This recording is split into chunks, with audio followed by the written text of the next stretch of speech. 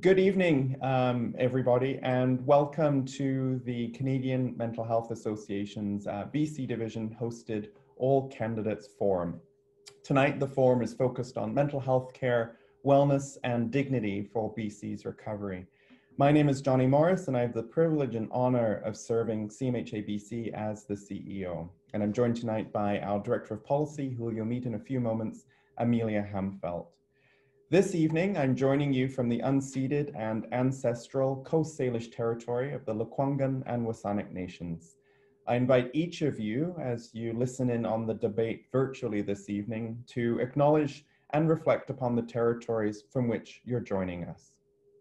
CMHA is one of the most established national charitable organizations in Canada, and we've been providing service in British Columbia since 1952 we hold a vision of mentally healthy people in a healthy society and strive for a mission of mental health for all.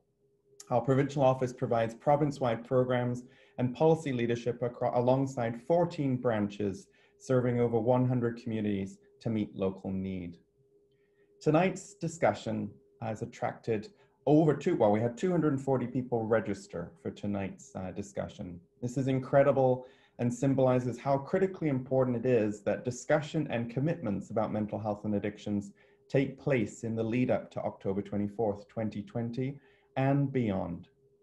Joining us tonight in the audience are people with lived and living experience, family members and loved ones, and service providers. And I think it's safe to assume that many of us, if not all of us convened here this evening, are impacted directly or indirectly by mental health and substance use problems. It underscores such an important opportunity for us to debate the path ahead and the moral imperative of sustained action in service of mental health for all. Tonight's debate takes place at a critical juncture. My colleague Louise Bradley, the President and CEO of the Mental Health Commission of Canada, recently said, a physical pandemic has highlighted a crying need as vast and diverse as the nation we call home. In this brief window of time, a veritable blink of an eye in policy development, an onslaught of innovations and interventions have arisen from a collective will mobilized by the eye-opening realization that protecting our bodies from harm is only half the battle. Our recent research, our own recent research completed with UBC shows that almost 40% of people say that their mental health has declined due to COVID-19, with people already struggling with their mental health twice as likely to be most hard hit communities continue to experience increasing and devastated losses of people due to a toxic drug supply and overdose deaths. And just today, CMHABC released polling figures that shows that a striking majority, 87% of British Columbians, believe that many of their fellow community members do not have access to necessary mental health services and support. Tonight's debate is critically important and the commitments that underpin the policy direction of whomever forms the next government in this province are critically important too, given the juncture we find ourselves at. On the screen in front of you, you will see the schedule for tonight's debate. Amelia is going to pop that up there. We will start proceedings with two perspectives from the community to assist in setting some important context. We'll then meet our moderator, our independent moderator for the evening, Moira Wyton, health reporter with the Tyee. Moira will moderate the debate among the three candidates joining us this evening. Mitzi Dean from the BC NDP, Scott Bernstein from the BC Greens, and Jane Thornthwaite from the BC Liberals. Moira has developed a series of questions across three themes this evening, care before crisis, foundations of wellness, and dignity always, sourced from her own practice as a journalist and from members of the community. Thank you so much to Moira and the Tyee for all of your support in making tonight's debate possible. Throughout the evening, um, after Moira was um, facilitated the debate amongst the three candidates, and you'll be able to hear each of them uh, respond to those questions um, about their platforms and their commitments to mental health and addictions. Um, there are 20 minutes at the end of this evening allocated for audience questions. Audience members should use the Q&A function in Zoom. It's at the bottom of your screen to write in any questions that you may have during the broadcast and the team behind the scenes will route those questions uh, to the moderator. We likely won't have time to answer all of those questions this evening, but we do invite you to write in with those questions. Please be clear with your question and identify if you'd like it to go to a particular candidate or to all panelists. I'd like to make two final comments before I hand things over to Amelia. First, civility and respect are fundamental to psychological safety in any context, and that includes all candidate forums. We hold this commitment throughout this evening at CMHA, and whether you're a candidate or an audience member, please hold that commitment alongside us too. And second, the issues at the heart of the debate tonight are impactful. I noted previously that it's safe to assume all of us are directly or indirectly affected by the issues at the heart of this debate. Please take good care of yourself and one another throughout. We'll be profiling a set of resources at the end of this evening, um, should you wish to reach out. Now, I'd like to hand things over to Amelia Hamfelt, Director of Policy at CMHABC, for some further opening remarks. Thank you, Johnny. I'd really just like to take a moment to foreground the issues that Johnny raised and the reason why we're all in this room tonight. We have seen the pandemic and the overdose epidemic have really substantial impacts on mental health and substance use, and they've impacted populations disproportionately, with people already facing health and social inequities experiencing the worst of this. And we know this is connected to the economic downturn that research tells us that an increase in unemployment rate increases the risk of suicide and other substance use related deaths. And we see that in the climbing overdose death rates. Just this month in September, 127 overdoses took place, and those people have passed away. And so we have a large crisis on our hands that need immediate action. And this election is an opportunity to start to look towards what some of those solutions may be. So CMHABC, uh, soon after the election was called, put out our election platform. And it's broken into two components. The first of which we're calling our guiding principles that we want politicians to commit to to guarantee that the mental health of British Columbians is the foundation for our province's recovery. We want to see bold leadership and have the Ministry of Mental Health and Addictions lead a coordinated response to the mental health and substance use impacts of the pandemic and do so in partnership with community by convening a cross-sector task force. We want to see increased investment, 2 billion going into mental health and substance use services that are delivered by health authorities, ministries, and community. We want to see established accountability and an independent mental health advocate who reports directly to the legislature that monitors the performance of services and hears complaints from people who are accessing those services. And then of course, we need an equity lens throughout this. With regards to investments, we want to see targeted funding for services and supports provided by and for underserved communities. These guiding principles then inform each of the immediate actions that we specify. And now I'm not going to go through and list all of them. There is the full document on our website, getloudbc.ca, but I do want to point you to the three areas in which the actions are grouped. The first of which is care before crisis. So that's looking at our healthcare system and ensuring that everybody throughout the province, no matter who they are or where they are, can access care at the first sign of illness. The second is foundations for wellness. And this is ensuring everyone has the essentials they need to be well. So that includes a sufficient income, safe and secure housing, food security, and access to digital services. The third is dignity always.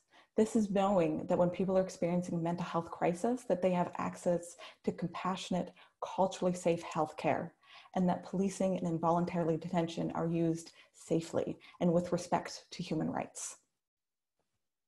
And you'll notice here that each of these areas aligns with the agenda that Johnny introduced. The candidates discussion is going to move through these three topics this evening.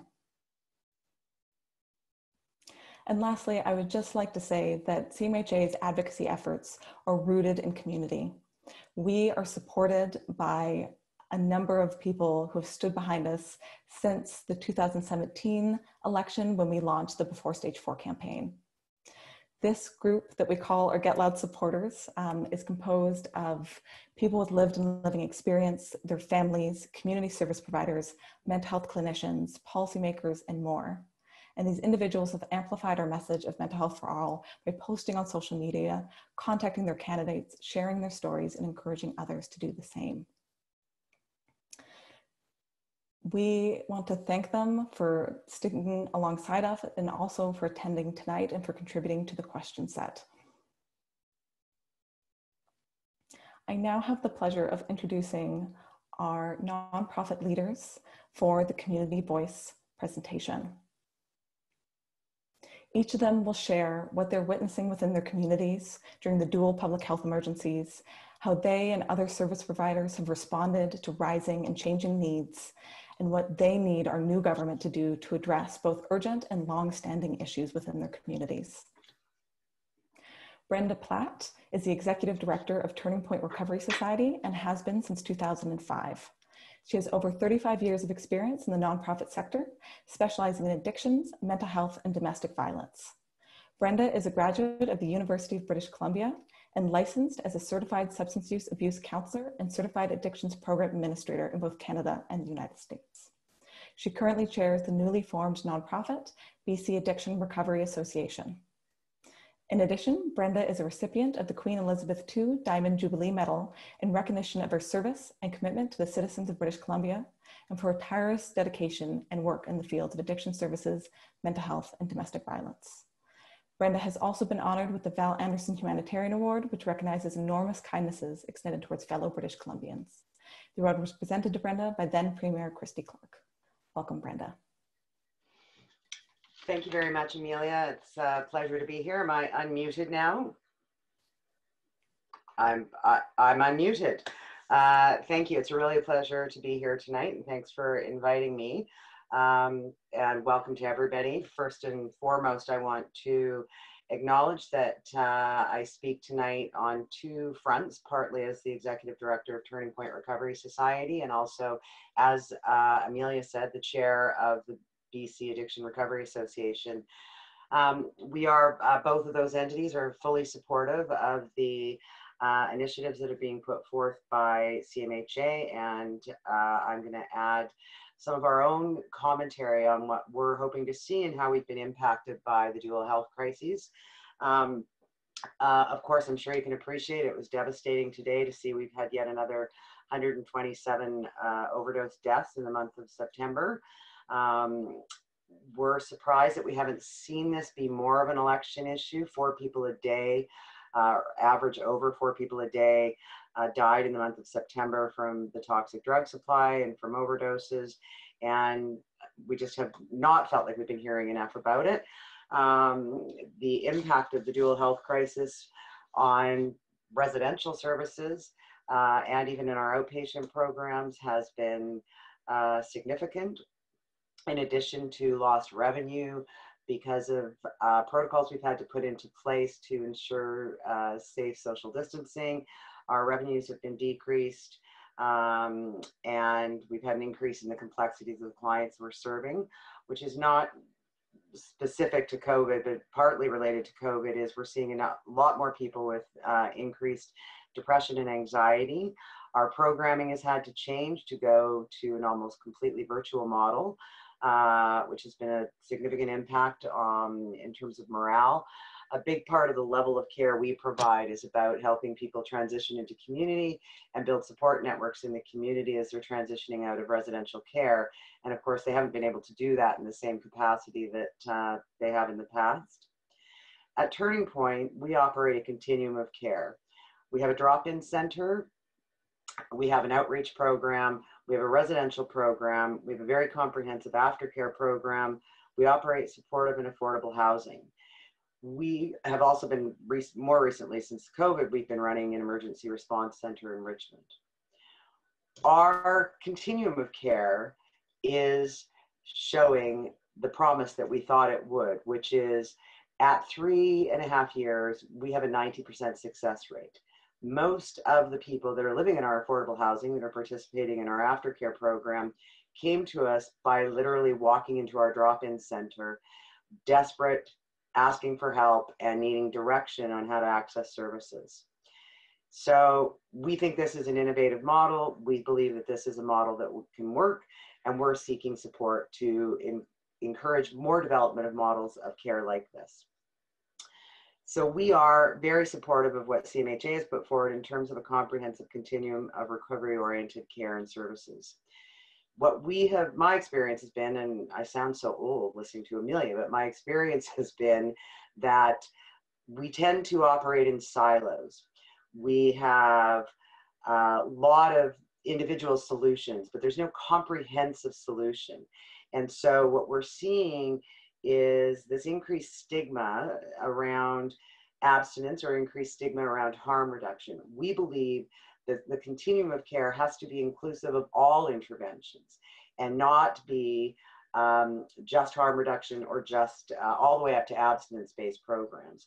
And that those things can coexist and that it needs to be well thought out and, and uh, organized. And we have yet to see this uh, in the last decade, really. And so we also need to see an acknowledgement of the complexities of the clients we've served. In the 15 years I've been at Turning Point, we've gone from relatively low percentages, 15% of people with dual diagnoses and concurrent disorders, to 85% of our clients now have dual diagnoses. So we're also looking for some acknowledgement and funding to support the complexities of the clients we served. We also believe it's a healthcare issue, not a welfare state issue, and we'd like to see that movement happen as well. Thank you. Thank you, Brenda. I'll now introduce our next Community Voice presenter. Ingrid Mendez de Cruz is Watari's Executive Director. Before taking up this role in 2018, she served as Watari's Latin American Drug and Alcohol Counselor for 20 years. A lifelong volunteer, she brought her commitment to inclusivity and social justice from her Guatemala place of many trees to Turtle Island in 1990. When Ingrid arrived in Vancouver, she saw the need for supportive networks between newcomers like herself and existing communities in her new home. She started building relationships that, over two decades later, remain integral to the supportive programming at Watari. Welcome, Ingrid. Thank you. Thank you, Amelia. Um, thank you for having me. Good evening, everyone. Um, I'm uh, um, thankful um, to speak to you from the territories of the Squamish, Tsleil-Waututh, and Musqueam um, Coast Salish territories um, that were colonized and stolen lands as well. Um, and uh, from what um, Amelia was saying that we were going to speak to, what we're seeing out there right now during the pandemic, as a community-based organization, um, we see uh, people who are struggling with um, not only their mental health and addictions, but housing, um, food, many other things, especially for communities that are invisible, that are here with precarious immigration status or non-status, that they themselves feel invisible to not only um, the provincial government, the federal government, municipal government. Um, they don't they don't have access to services and supports um, because of their precarious immigration status. Um, they their mental health um, has um, tripled in in in the sense of depression, fear. Um, they they don't really know what's going to happen with them. Um, we were very um, concerned that many of them were going to end up being on house, And we had to um, ask support from foundations and individual donors to help us um, support these communities um, with rent and some other uh, needs and supports that they needed. Um, we also support migrant workers uh, who come here um, to this province and uh, support our food systems. Um, they are the ones who um, help us uh, or help the, the British Columbia getting the food that we eat. And uh, but they are also non-seen um, by um, the system. They are um, victims of systemic um, racism in the farms where they work. Um, they are victims of systemic racism in the uh, communities where they work, and they cannot they uh, they cannot access uh, supports. Their mental health has been um, devastating for them, um, and also addictions. Uh, we have had cases of um, people um, drinking um, in their uh, workplaces because of how difficult it is for um, migrant workers to come here and leave their families behind, not knowing what's going to happen, especially now during the pandemic, um, not knowing what's going to happen with them and if they are going to find them alive or not.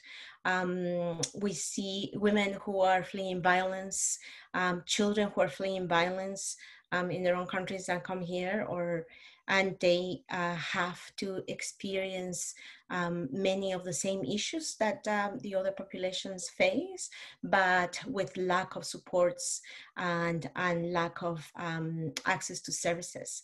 So we would um, really like to see um, an approach and on how to support these communities, these invisible communities that nobody sees, nobody cares, nobody looks for. Um, we want to see how government uh, is going to continue this support to them or start supporting them, but on longer term, not shorter term, um, how we can um, make sure that them being our neighbors are going to have the same access to all services and supports, uh, not only around mental health, but also um, uh, health in general, to housing, to um, having food, um, having access to all the all the different uh, supports that um, both federal and provincial government had out there for everyone else uh, in the different communities. So these invisible communities need help and need support, and we want to see that with the with the next government. And uh, we also support the platform that CMH um, that um, um, uh, mental mental health. The BC Mental Health Association has as well. So thank you uh, for having me and um, I'll, uh, I'll stay and, and hear the remarks from the candidates. Thank you again. Um, a heartfelt thank you from uh, the Canadian Mental Health Association to both Brenda and Ingrid for um, situating um, the community perspective on the some of the key issues uh, related to mental health and substance use and the impacts across diverse communities here in BC. Um, thank you very much indeed for, for bringing forth your perspectives and, and adding into the conversation um, some of the calls that your organizations are making for inclusion in, in the platforms. We're at a key pivot now in um, this evening's event. We've, we've got um, a, a, a significant number of attendees here listening in on the conversation. Um, I do want to appreciate that a number of uh, CMHA's board members are also on the line here too this evening. Um, I want to turn to Moira now. Uh, so Moira, um, if you turn on your camera and, and, um, and get ready. Uh, Moira is um, um, our independent uh, moderator this evening. Uh, uh, Moira is the health reporter for the Tyee, as I mentioned before.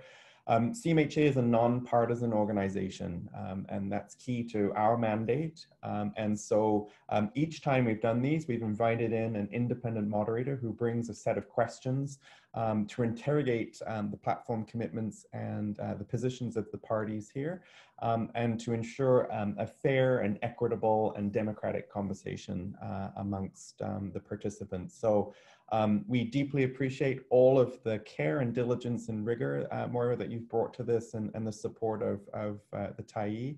Um, I'm going to hand things over to you as our moderator. Welcome. Wonderful. Thank you so much, Johnny. Um, and good evening, guests and panelists. Um, I want to first start by acknowledging that I'm joining you here tonight from the traditional, ancestral, and unceded territories of the Squamish, the Tsleil-Waututh, and the Musqueam peoples, um, and that our conversation tonight takes place amid ongoing colonial violence against many Indigenous peoples across Canada and around the world, uh, including towards the Mi'kmaq in Nova Scotia. I'm joined here tonight by Jane Thornthwaite of the BC Liberals, Scott Bernstein of the BC Greens and Mitzi Dean representing the BC New Democratic Party. But tonight's forum isn't about rehashing previous records. Um, we're trying to platform a lively discussion on bold solutions needed in the future of mental health care and substance use in BC. Um, and as we interrogate those, uh, those strategies, I want to acknowledge that myself and the three candidates on your screen tonight are all white settlers. And with that in mind, the questions you'll hear tonight are rooted in the lived experiences of people with mental health challenges across BC um, and many have been informed by research and advocacy work related to the intersections of mental health with race, with colonialism, income, and disability, uh, and by experts in Indigenous mental health um, and ways of care in BC. You'll for, for the run of show tonight, you'll soon hear from each candidate in a two minute opening statement. The order has been chosen by random draw. Then we will be asking about nine questions total that are directed at the candidates, about three per. Um, and the candidate to whom the question is directed will have two minutes to respond, uninterrupted, after which will be followed by two minutes of response and rebuttal time for the other two candidates. This is a little bit more free flowing, but I'll ensure that speaking time is equitable and that this first responder is chosen at random. Uh, and then finally, once we've gotten through the debate at 8.30, we'll have a 20 minute Q&A portion, as Johnny mentioned. Uh, so please do submit your questions um, to, through the Zoom Q&A function so we can ask them. And after the Q&A, we'll hear from candidates for a final two minute closing statement in a reverse order uh, from their opening statements. And Johnny uh, Morris, who you just recently heard from, will round out the evening with closing remarks. With that, uh, let's start with opening statements. The order was chosen right before the um, event began tonight. Ms. Dean, over to you. Thank you, Moira. I'd like to honour and recognise that I'm talking to you tonight from the traditional territory of the Lekwungen speaking people. Thank you so much to Brenda and Ingrid uh, for all of your work. So many of us are struggling with our mental health right now. Because of the COVID 19 pandemic, people across British Columbia are living with isolation and loneliness financial concerns, and a fear of getting sick. People are worried about their families, about their future. Now more than ever, we need supportive services that are there for people when they need them. And that's what a re-elected BC NDP government is committed to do. Before the pandemic hit, we were improving services to help people dealing with mental health and addiction struggles, from prevention and harm reduction to treatment and recovery. When we formed government, we created a standalone ministry for mental health and addictions. We were starting to see promising signs in our work to stem the overdose crisis, but we know that the pandemic has had devastating impacts. My heart goes out to everyone who has lost a loved one during both health emergencies. My deepest gratitude goes to everyone working on the front lines. One death is too many.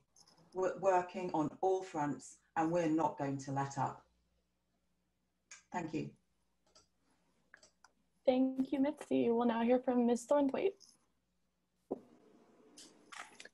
Uh, first of all, I'd like to say thank you very much to the organizers for um, organizing this forum, as well as all the people that are on the screen that, of course, I can't see, but are obviously listening in and all of their work that they do uh, for those that struggle with mental health and or addictions. I appreciate your work and uh, wish you all of the best.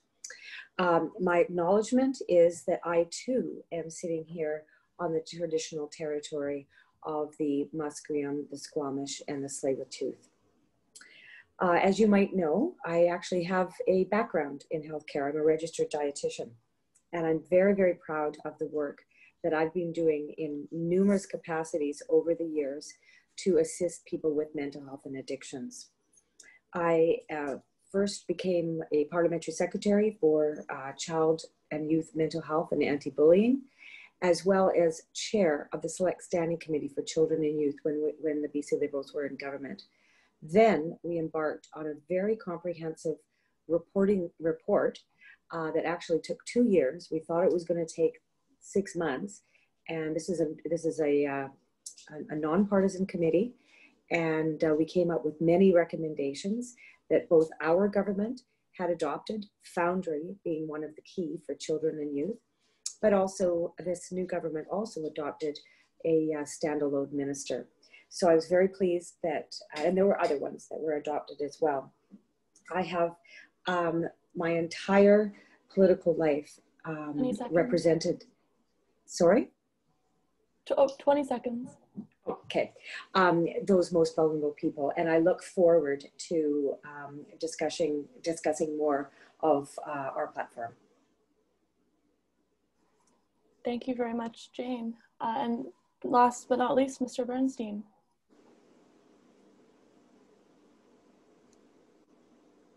Uh, thank you uh, very much. I'm, I'm, really honored to be here tonight and thank you all uh, for the organizers and for uh, my fellow candidates and for you watching. Um, I, I, also am a white settler on, settler on unceded territories of the Coast Salish peoples, Musqueam, Squamish, and the Tsleil-Waututh.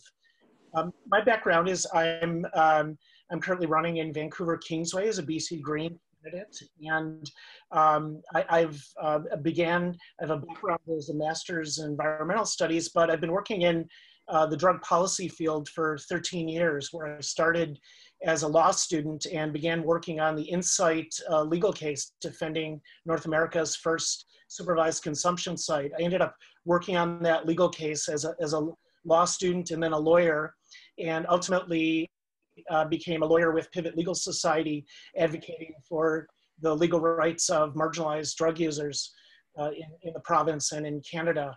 Um, currently, I'm working as the Director of Policy at the Canadian Drug Policy Coalition, advocating for um, drug policies based on human rights, social inclusion, and public health.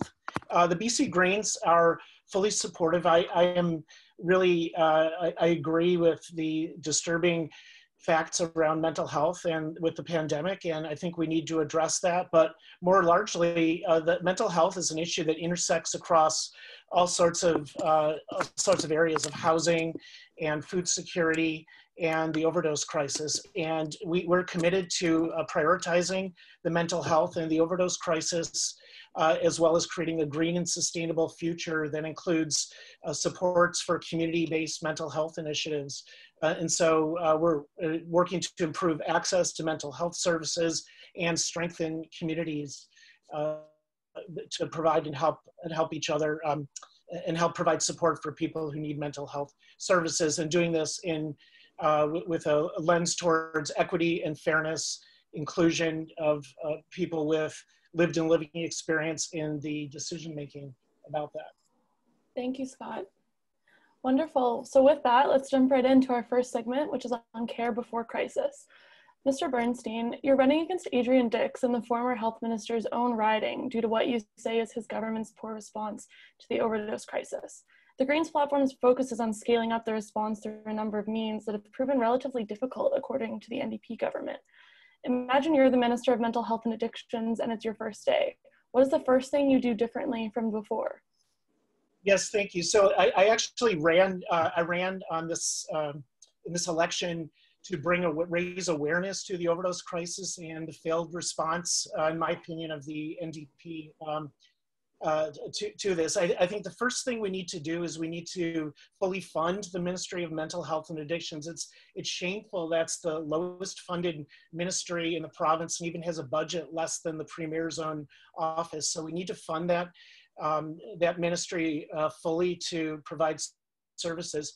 Uh, Safe Supply has been a, um, a pilot project scale. We need to scale that up with more options for people, uh, as well as more formats for people to um, to receive pharmaceutical grade drugs. And thirdly, we need to urgently decriminalize um, drug possession. And so that's something that's sort of been uh, dickered around a bit by the, uh, the current government who says it's not their jurisdiction and ignored the report of Dr. Bonnie Henry calling for urgent decriminalization. That is something that we're gonna make a priority and we're gonna do it through getting an extension uh, through, from Ottawa or amendments to the Police Act as Dr. Henry recommended.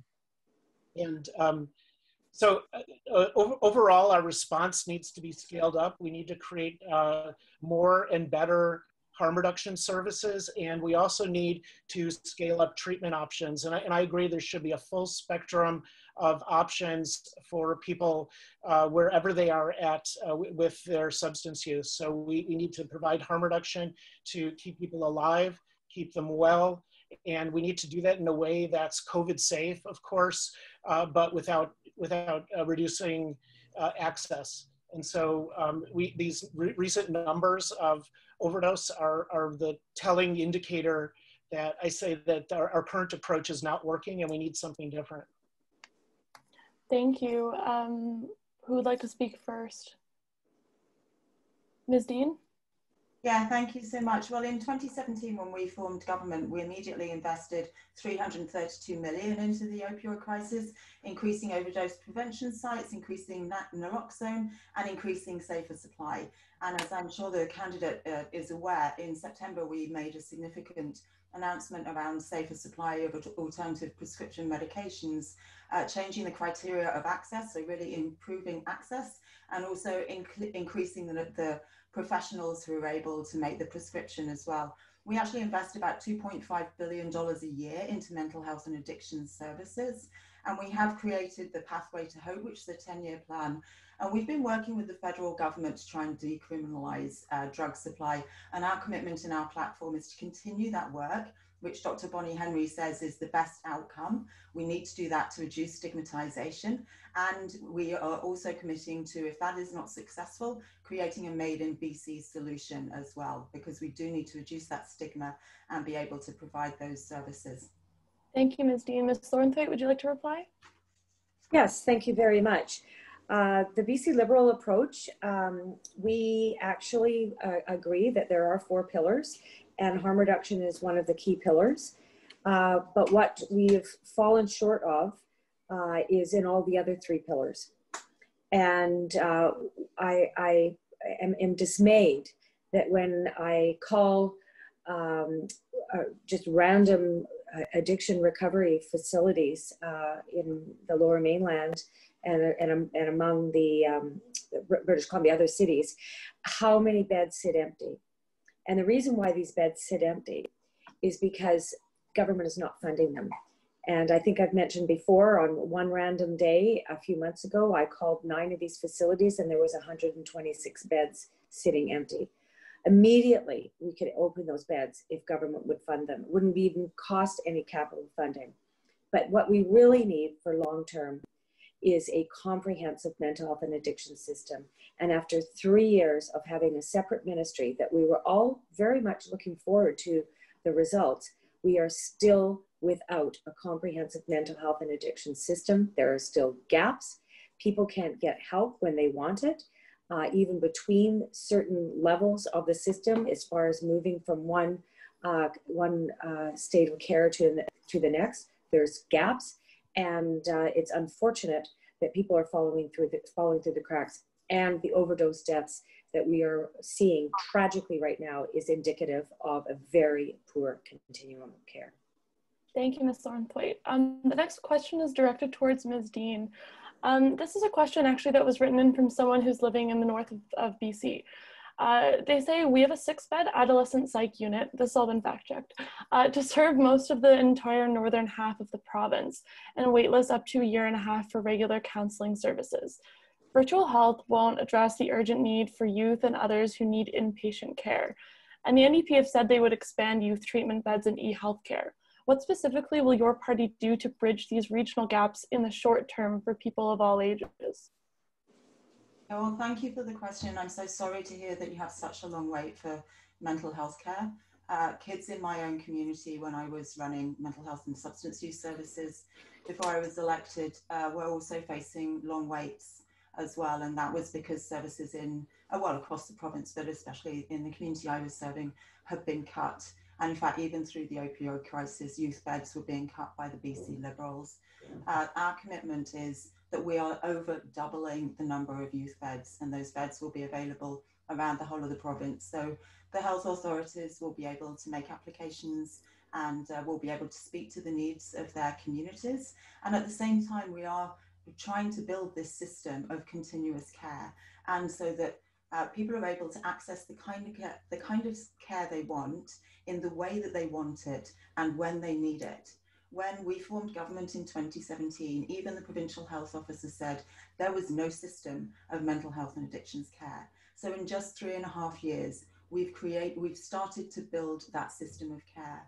And we have made some progress. And for example, with COVID, we've been able to increase those remote ways of, of people being able to connect with services and start to build relationships and start to find ways of recovery and healing and uh, being able to identify resources but, you know, we have made progress, but we must keep going. There are still uh, many priorities across the whole of the province that we need to be working on. We have a 10 year pathway to hope plan. So we do want to be able to build this system so that it's fair and equitable. People have access across the whole of the province to those services that they need where and when they need them and that they're not stigmatizing as well and that people if they need to be able to access services in their communities, that the capacity is there. So we're increasing beds across the whole of the province. We're focusing on under 24s and we are over doubling the amount of youth beds in the province too. Thank you. Thank you, Ms. Dean. Who would like to respond? Uh, let's go to Mr. Bernstein. Yes, thank you. So access to mental health care and, and affordability of mental health care is, is a pressing concern. And our proposal is to commit $1 billion over four years to integrate mental health services into the MSP. And so this would allow uh, people to access mental health services much more readily. Um, it would be a very clear process of doing it and it would be paid for. And the data shows many health um, mental health situations can be addressed through a, a small number of series of counseling uh, for, for people. Uh, we're also supporting integrated mental health services in communities. And so we um, want to create uh, community-based options that work with the local culture and the local systems in place to address uh, address issues around youth mental health and adult mental health uh, in rural communities and and First Nations communities and across uh, across the province. Thank you, Mr. Mr. Bernstein. Uh, Jane, it's to you. Yeah, I think um, with regards to the the issue about uh, Northern Health and and outside of Metro, uh, Northern Health has been particularly uh, traumatized by the overdose crisis. There's uh, was a higher number of deaths uh, per capita in Northern Health uh, from overdoses than anywhere else. So they are definitely suffering and the services are, are, are not there. I've, I spoke to a man uh, with a daughter uh, in Kamloops, for instance, Interior Health, and he could not get any help anywhere near Kamloops for his daughter who was suffering from mental health and addictions and also was being sex trafficked. And he would want to go and rescue her, um, but he couldn't because he would get arrested and uh, the, system is not there to help these kids and and it, it goes to the prevention. And I, again as i mentioned uh, one of the four pillars is prevention. And getting these to these kids early in schools uh, it's too late at the age of 25 what what we need is more services when the kids are five and just starting out school as opposed Thank to waiting too late. Okay. Thank you jane um, this actually, this goes into a, uh, my next question, uh, which is directed at you, Ms. Thornthwaite. Um, the BC Liberal platform for this election focuses on a, a, lot on adding treatment bed spaces and preventative measures, like you just mentioned, um, as a solution to the overdose crisis. Um, but people are, but many experts and people on the front lines are critical that these longer term solutions won't actually do anything in the short term to save lives or prevent deaths that we're seeing from the poisoned illicit drug uh, supply right now. What short-term solutions would a BC Liberal government pursue to prevent deaths from poison drugs? And would your government continue with the recently announced expansion of safer supply in the province if elected? Yeah, the BC, as I said, the BC Liberals um, support the four pillars, and certainly safe supply is part of harm reduction. Uh, we're not we're not saying that uh, there are exclusive one size fit all solution. What we are saying is, is that there has to be uh, more emphasis on treatment and recovery because nobody seems to be talking about the recovery end of it. There are four pillars. We need to get people immediate access to treatment when they want it, when they're ready. And we don't have that right now. So, certainly, uh, when we, have a, perfect opportunity is when people are accessing these services like Insite or um, safe supply, that we have a perfect opportunity for health professionals to, to um, em embrace these individuals and help them on their journey. We know that addiction is, is a symptom.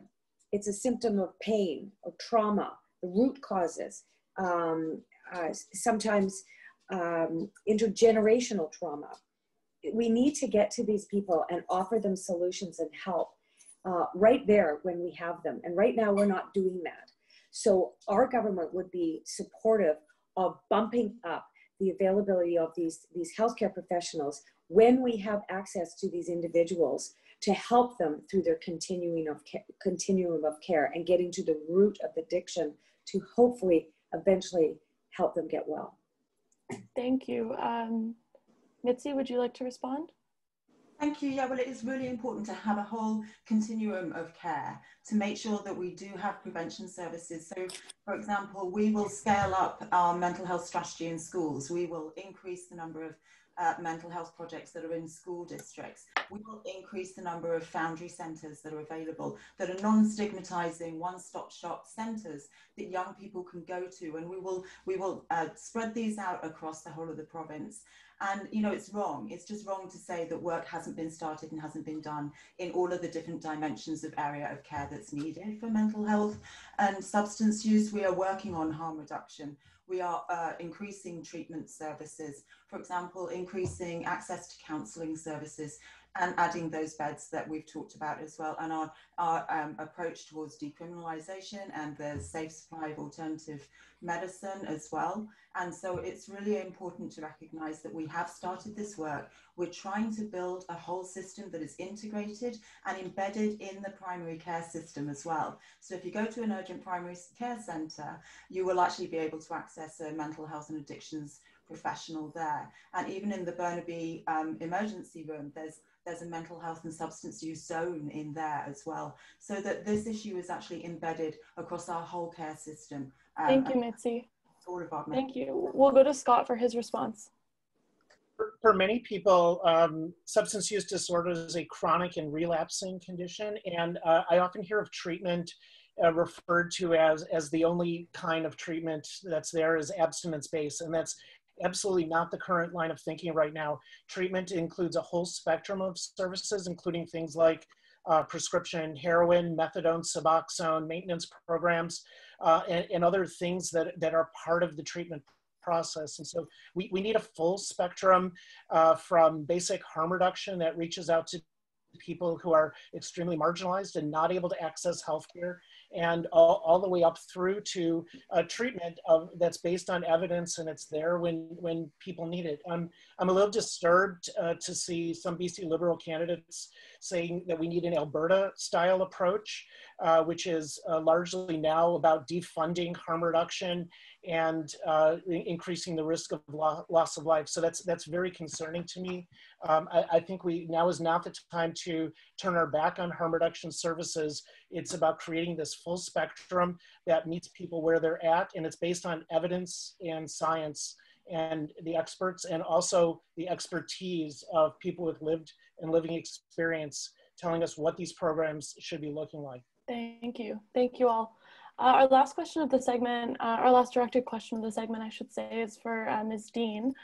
The pandemic has increased mental health struggles for many British Columbians, as we heard at the outset of this event. Um, and in fact, 87% of British Columbians think most people don't have the mental health supports they need right now. Um, the NDP platform, as you mentioned, focuses on funding more supports in schools and for youth clinics like the Foundry. Um, but what is your party's strategy to make preventative and responsive services for mental health far reaching and affordable to all BC residents, including those who are undocumented or post secondary students without extended benefits? Mm-hmm. Yeah, and thank you for the question. I mean, it's really important to make sure that there are no barriers for people who need services.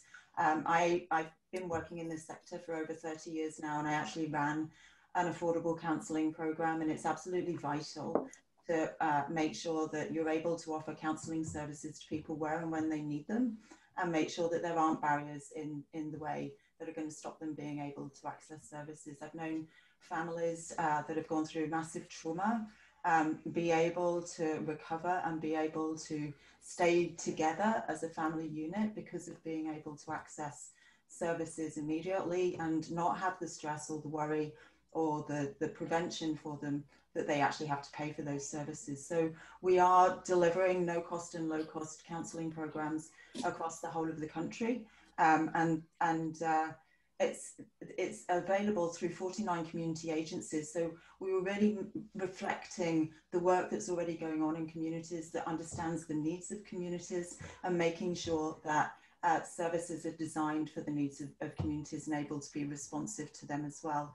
As you mentioned, the Foundry Youth Service, again, the Foundry Youth Service is a, is a great model because it's non-stigmatizing. Youth could be going into a Foundry Centre for any service whatsoever. They don't have a big label on their head that says, I've been abused or I've been traumatized or I've got a mental health issue or I've got an anxiety disorder and uh, they're able to connect with someone and build that relationship and be able to find the resources that they need and be able to access them how they want to access them and where and how often they want to access them as well and that really helps with that self-determination for young people finding their own pathway um, and also you mentioned the um, mental health in schools, which again, I'm really proud of. We had a wellness center in one of the high schools. Um, well, uh, sorry, the question was about supports not including schools and Foundry. So for adults or, or students after graduation.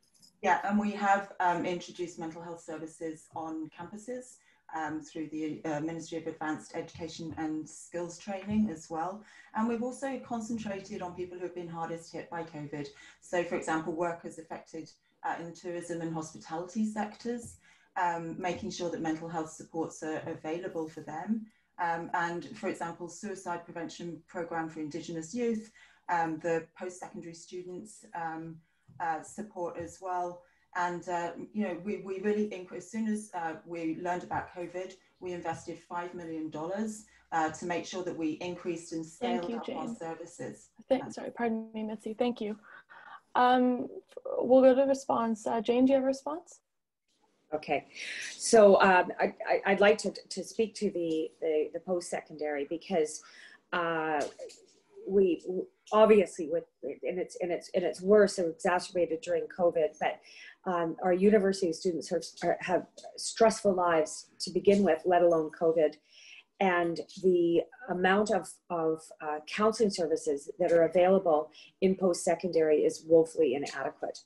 We need to have these services. I'm actually an advocate of, uh, you know, increasing the age of Foundry to 30 or putting them actually uh, in post-secondary uh, institutions because uh, these students need to have access immediately, not just because of exams, but because of their stresses of, of living, um, their family life, etc. And, and international students uh, are included in that. So I, I, I, I, totally agree with you that we need to step up access to mental health supports for all people um, and and and post-secondary students are the ones that I think that um, perhaps have been ignored um, up, up up to now, and that's definitely. We'll go to Scott for his response.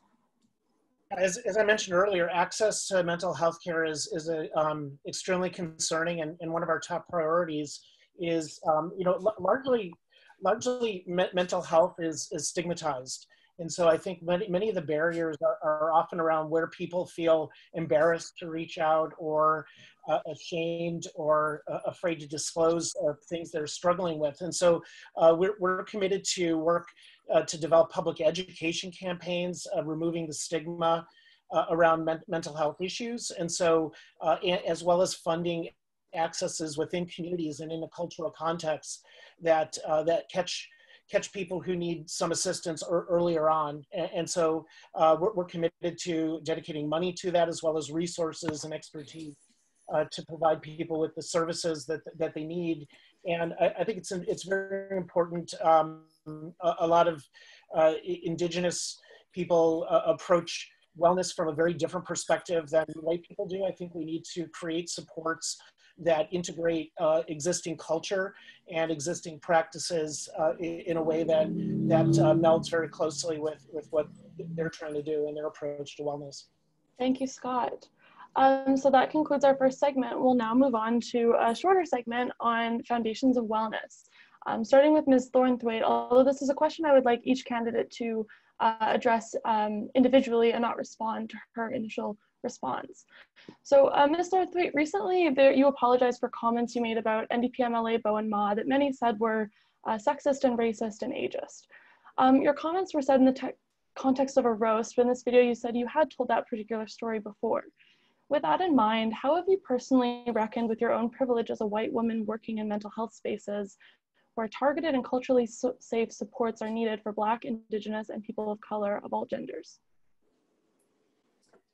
Uh, thank you for the question, and, and I, I, have apologized for those comments that were were made, and um, Bowinn has uh, graciously accepted those those those apologies. So we, we, have moved on.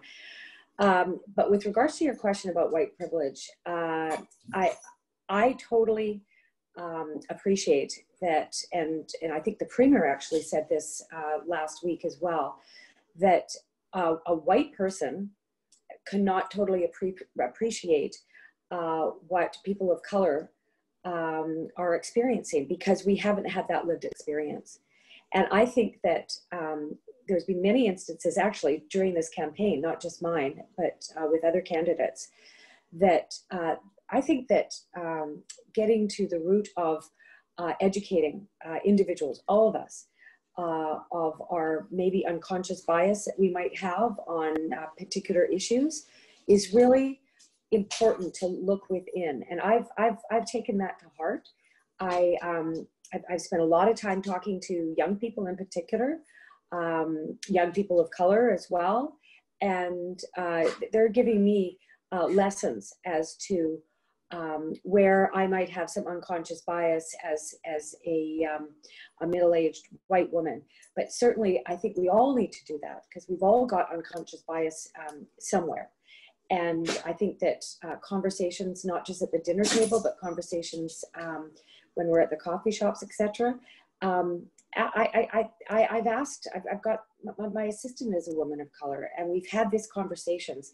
And I, I, I must say, I'm getting very, very informed of things that perhaps um, I assumed that I knew, or I assumed that I was, um, you know, I, I, knew what I was, uh, what somebody else was thinking. But obviously, I don't know what they're thinking because I haven't experienced what they've experienced in their life. Thank so you. your question is a good one. Thank you. Thank you for your answer, Jane. I'll go to Scott for your response and, and your, your individual response to the question.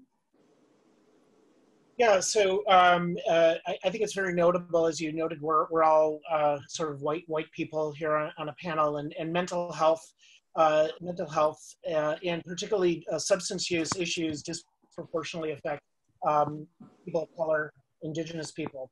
And so I think it's it's very important uh, for recognizing our, our own privilege in this matter um, and using it. And I know I know my party has been criticized uh, around diversity. Uh, I, I, think it's it's something that we've acknowledged and are working towards uh, having a more diverse slate of candidates. We, we do have five uh, Muslim candidates, and we have, have a large slate of uh, women and people of different expertise and experience. Uh, but I, I, think we, we have to do better. And I think as, as a, a party, but also as, as a people and individuals, uh, we have to acknowledge our, our position here. And I, and I think, you know, the, the largely my role is where I can to elevate the voices and the experiences of, of people of color. Um, I, I, know the the uh, roots of the war on drugs are uh, based in racism and uh, and and in uh, colonization. And I think uh, raising awareness of these issues and um, upending the system to better better provide supports for people. Thank you, Scott. Thank you. We'll we'll go to Mitzi for her response. Thank you. Thank you so much. Well being motivated to go into social work and having trained uh, intensely in social work and then later on to be a coach as well, uh, you have to do your own work. You have to know what your privilege is. You have to know what your power is. You have to be very careful and mindful about how that enters into any relationship uh, where you might you have the the ability to interfere in other people's lives. So um, I have always taken the responsibility, and it doesn't mean you know the journey is always always ongoing because you you've been filtered by your own history and by how everybody treats you and interacts with you every day as well. So um, I take it upon myself to try and educate myself and keep learning. I am so grateful for the support of Elder Shirley Alphonse. She's my mentor and my guide, and I can text her and I can visit with her, and uh, and she has educated me a lot about Indigenous communities here I've always made sure that myself and my teams that I've been responsible for have stepped up into making sure that they have uh, a colonization training and racism training as well. And, um, and I always seek feedback, but I do not think it's other people's responsibility to teach me. It's my responsibility to learn and to be able to peel away the lens and to understand where my privilege is having an impact in my daily life whenever we're making decisions. Thank you, Mitzi. That's the end of time. Appreciate it. Um, that concludes our second section. So we'll move on to our last segment, which focuses on dignity and human rights in mental health care. Um, and our first question is directed at Ms. Dean, um, noting that it has been almost 25 years since the Mental Health Act came into force in British Columbia. Um, and a meaningful review of the legislation has not only not happened, but it's actually fallen behind the pace of other provinces who have reviewed their own legislation more recently. Um, there's also not a lot of public reporting about how, when, or how often the Act is used uh, to detain people in involuntary treatment. Uh, would, if elected again, would you support a public and independent inquiry into the Mental Health Act uh, serving as a review? Uh, and please explain your reasoning.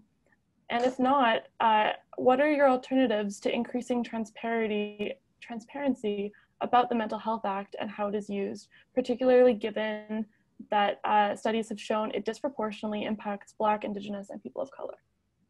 Mm -hmm. Yeah, well, thank you for the question. I think as we've all talked about this evening, we're living through two uh, provincial health crises, and every day too many people are dying. And even even seeing hopefully the curve in the opioid overdose deaths um, hopefully flattening, there are still too many people dying. When we formed government in 2017, even the provincial health officer said there is no system of mental health and addictions care. And so our priority, as shown by creating a dedicated ministry, has been to try and build that system. And to Forgive the interruption, Mitzi. The question was about the Mental Health Act and how you would mm-hmm. either review it or otherwise increase transparency. Could you please answer to that? My priority is making sure that services are available in the community because we have these two crises. What's really important now is to make sure that we're getting the services delivered to the people who need them. That's really important work, and that's where we need to have a significant impact. We need to build the system because the system isn't there. So that is a, that is the priority. Now, of course, we will listen to stakeholders and we want to partner with stakeholders and people with lived experiences as well. And I know that our Minister Judy Darcy was was doing that all the time that she was trying to develop her strategy as well and make sure that she identified what the priorities are. But I, I sincerely, you know, think at the moment that it's really important to continue building the services and making sure that we're able to reach people who are vulnerable, making sure that we get culturally. Pardon me, in the last 20 seconds of your answer, could you please address the Mental Health Act and whether or not you would look at reviewing it? Well, I agree with your, your question about transparency, that it's we're a government that believes in transparency, and it's really important to make sure that we create a system of transparency and make sure that there are not additional disadvantages that are being replicated through the use of that act. All right, uh, thank you. We'll go to Jane for your response. Um, thank you very much uh, with regards to the Mental Health Act. And we know that uh, when the NDP introduced Bill 22, uh, which was a revision of the Mental Health Act pertaining to children and youth uh, as far as um, secure care, uh, that the bill did not actually go past uh, first reading because so many groups and individuals uh, were against it, including the First Nations Leadership Council, the representative for children and youth, uh, the coroner, and uh, justice groups. And I think that um, it was very poorly timed because we I now know that uh, the representative is in the process of reviewing the Mental Health Act. And I was very disappointed to learn this that the NDP had not uh, bothered to discuss this uh, with the representative for children and youth. So I absolutely do support um, a review of the Mental Health Act. The Ombudsman has made some very significant uh, points about what is wrong with it and uh, needs to be updated. And um, absolutely, it uh, would be something that I would have a priority in advocating for. Thank you, Jane. To Scott? Yes, absolutely. We would support an independent review of the Mental Health Act. Uh, um, our Mental Health Act is uh, antiquated uh, it's um, violating of constitutional charter rights, and it's also uh, in violation of the Convention on the Rights of People with Disabilities. And, and largely the problems with the Mental Health Act are issues around uh, deemed consent, where uh, people people are uh, deemed to have consented to involuntary treatment and confinement. And these were these were critiques, as Jane brought out. Uh, they, these have been uh, brought up by the provincial ombudsman as well as nonprofit groups who uh, criticize the Mental Health Act uh, for um, for these these violations of human rights, but also its lack of transparency of how it's used and how a legal representation of, of whether people are able to get legal counsel and support when their rights are being taken away. And so um, we we are the only province. Our our our uh, mental health act stands out from the rest of Canada and having um, things like no provisions for substitute decision making and uh, involuntary treatment with deemed consent. And we need to um, we need to really look at this and um, and, and have an independent impartial review of the Mental Health Act and work towards creating one that's not antiquated. Thank you, Scott. Um, and the next, uh, we'll move on to the next question, which is directed at Ms. Thornthwaite. Um, as you just mentioned, your party was critical of Bill 22, which would have allowed further uh, detention of youth who overdose for up to seven days. Um, experts have been critical of expanding involuntary care in general, uh, simply because they believe it doesn't address the root causes of uh, mental illness and and, uh, and needs for treatment. But in the BC Liberal platform, uh, you want to introduce a Safe Care Act to funnel more youth into involuntary treatment. Why this bill when you were so critical of the NDP's Bill 22 and expanding youth detention? So the difference between the Safe Care Act and Bill 22 is a matter of degree. Uh, the, the Bill 22, there was 48 hours of, of um, so-called secure care uh, for children and youth. And the problem with that, and, and, and all of the problems that we've seen in secure care uh, in, in other jurisdictions, and I know um, Alberta is in the process of reviewing their entire act as well as, as secure care. Um, the problem is, is if you just charge somebody, and the coroner has said this, um, without the proper supports, without the proper follow-ups, and in this case it was 48 hours, um, then it actually increases the chance of that individual, in this case, a child, uh, having an overdose because the tolerance is so far down. So what we're advocating for is longer term. And all the discussions that I have talked with uh, mothers, mostly mothers, but also mothers and fathers of children who have died of overdoses are in support of a longer term uh, continuum of care, not 48 hours, but a longer term. Uh, I asked. Could you elaborate times, on the accountability mechanisms uh, that would be in place for a longer care period? So, so what the, specifically we're talking about youth, okay? And and what I had asked and begged the NDP government to do numerous times when I had introduced it is please just bring this act to the legislation or to the legislature so we can have this debate. We can we can debate back and forth you know the length and what the, the, the care is while the, while the person is is is in secure care. We can debate all of that. But the fact is is that we need to do something because what's happening right now is children are dying. Children are arriving in, a, in an emergency ward getting discharged within sometimes hours let alone a day and they immediately go out and are at high risk of overdoses. And that's what's happened to a lot of the children of parents that i've talked to Thank that you, support Jane. secure care. Thank you. We'll go to Mr. Bernstein for his response. I am very sympathetic to parents uh, that have uh, children who struggle with uh, substance use issues, and, and, often it's you know as a parent myself, it, I can imagine it's very difficult to watch your son or daughter um, be, be in this situation. However, uh, involuntary confinement and treatment is not the answer. There's no evidence to support that this is a, a path, whether it's through Bill 22 or uh, Secure Care, Safe Care.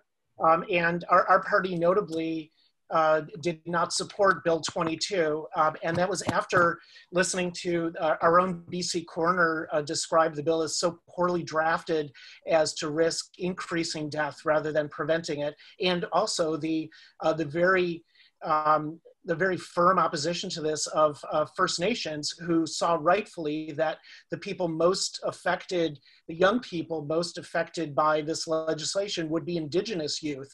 And the idea of, of taking them away from their situation and forcibly confining them uh, seemed, uh, seemed quite uh, disturbing as it does did to us. So we, um, uh, you know, Thank the, you, Scott. That's your time. Uh, we'll go to Mitzi for her response. Yeah, thank you. Yeah, what a torment it must be for parents um, who are living through these kinds of situations. And I know a lot of parents came and spoke to the minister over her time when she was Minister of Mental Health and Addictions and uh, had a significant impact. And of course, she was also talking to the pilot program at uh, BC Children's Hospital as well, um, and talking with many other stakeholders as well. And I know from my past experience of working on youth committees, it's a complex issue. Um, and so we have, we, in terms of Bill 22, it has been paused. Uh, in order for there to be more consultation, for there to be more stakeholders to get involved and to have that discussion that needs to include families, youth, Indigenous communities, Indigenous youth, uh, and all of those uh, key stakeholders. And of course, we need to build the whole continuum of care, as we've said before, because we need to make sure that those acute services are, are, readily available when they're needed, and that there's that continuum of care once we're able to move youth into the community or uh, support for, for families in community as well. Thank you. Thank you all. Um, our last question, our last structured question of the evening, um, or uh, directed question, pardon me, goes to Mr. Bernstein. Um, a number of Canadians recently and historically, um, a large and disproportionate amount of whom are Indigenous, Black, and people of color, are killed or seriously injured by police during what are called wellness checks.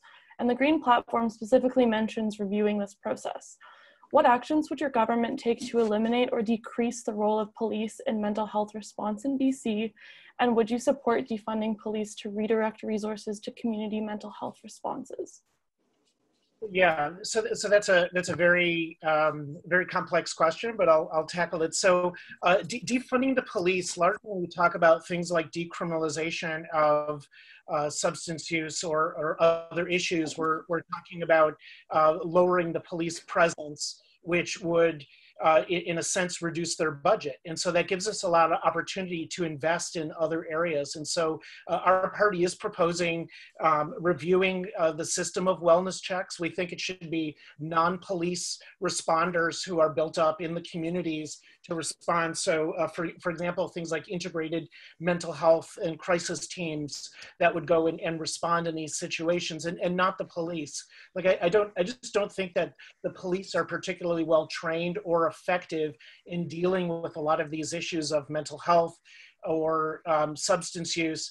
And uh, as the point of them being the first responder, it also creates conflict and in, in some cases unnecessary uh, death uh, for, for people. And, and again, this is targeted at uh, people of color and indigenous people. And so I think creating a system where the police are not the first responders, but we have an integrated system of, of wellness checks and, and support team involving mental health experts is, is the way we should be doing this. And that's what we support. Thank you, Scott. Uh, we'll go to Jane for her response and then Mitzi. Well, unfortunately, uh, because of this snap election that was just called by the NDP, the review of the Police Act uh, that was uh, started has now been squashed. Uh, that would have been a good opportunity to have these discussions. Uh, what I worry about is um, what is the definition of defund police? Um, I think that within police departments there are there are mental health uh, specialists. And if, if, there was going to be a funding cut, those would be the ones that would first probably lose their jobs. I am a huge advocate of the CAR 40 type program or the ability for psychiatric nurses or social workers uh, to attend with police on, um, on mental health calls. Uh, there's there's models out there that um, Pathways Serious uh, Mental Illness has has projected that the that they the police come in in plain clothes, not uh, with um, in uniform, and that there's partnerships with uh, mental health specialists with them to try to de-escalate uh, the the confrontation and get these people help there's also models that um, it is the, the healthcare professional, the mental health professional that actually takes the individual away from the situation to either uh, a hospital to get assessed or some some other um, body to, to to offer those success. So we definitely need to uh, bump up our services with mental health uh, Thank supports. you. Thank you. That's your time. And we'll go to Mitzi for the final response.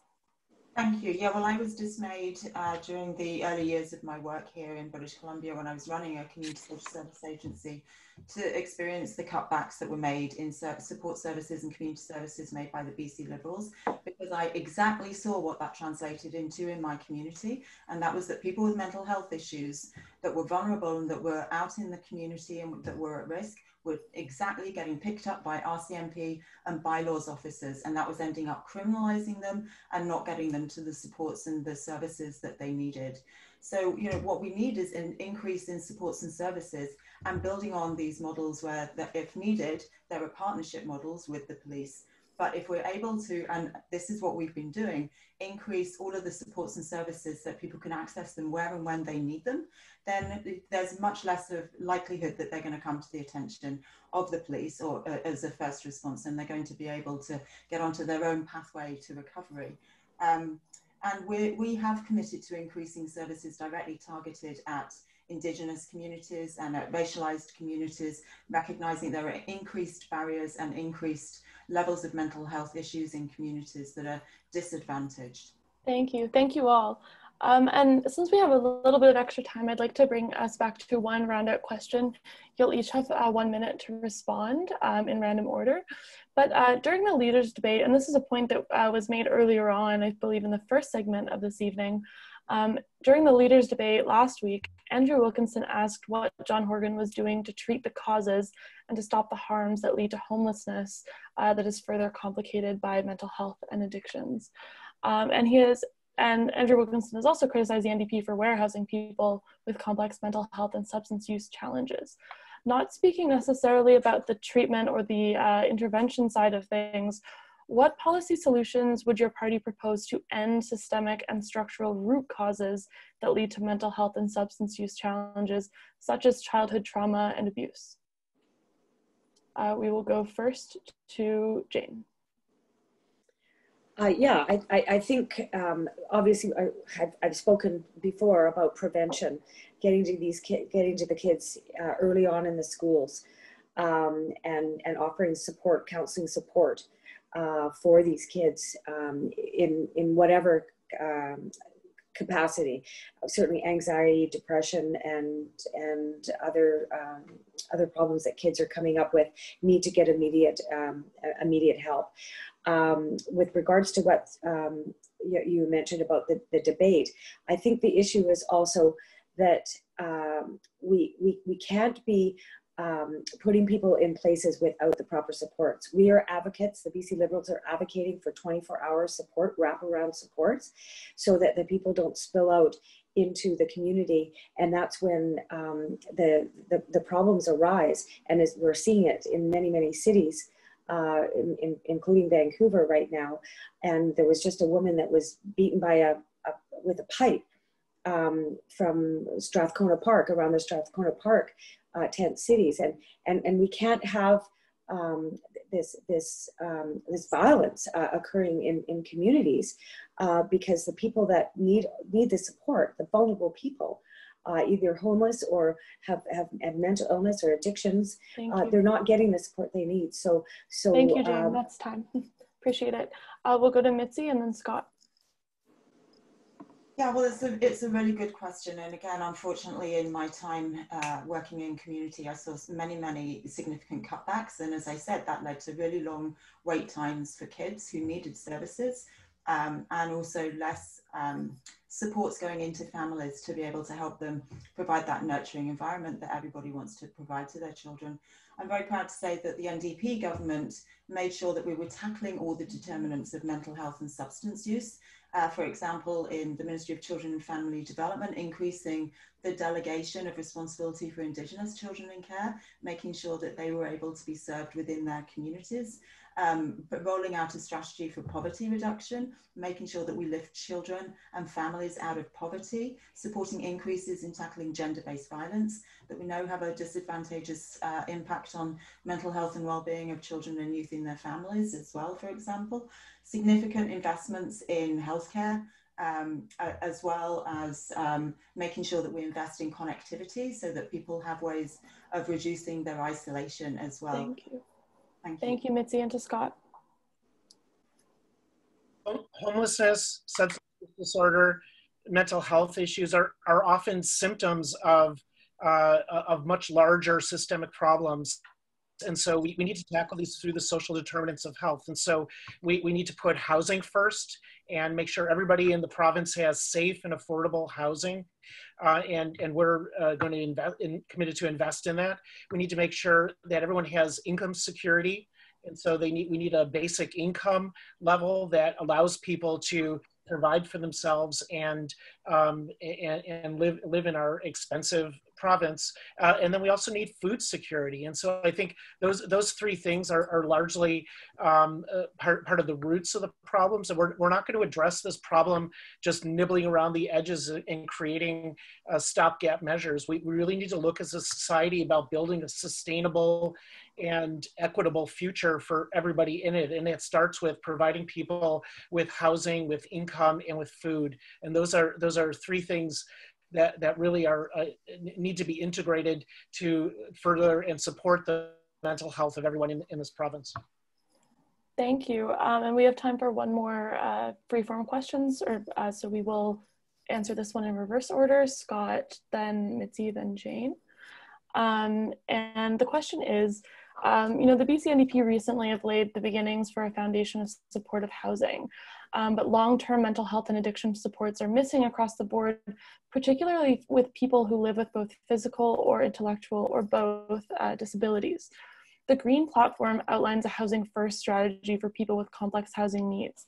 How will each party make these supports available to people in supportive housing through a disability lens? We'll go to Scott. It's to you, Scott. Sorry, thanks. I was so um, I, I, think look, looking at uh, the situation in context of, of people's needs and the particular ones is best done by, by asking them.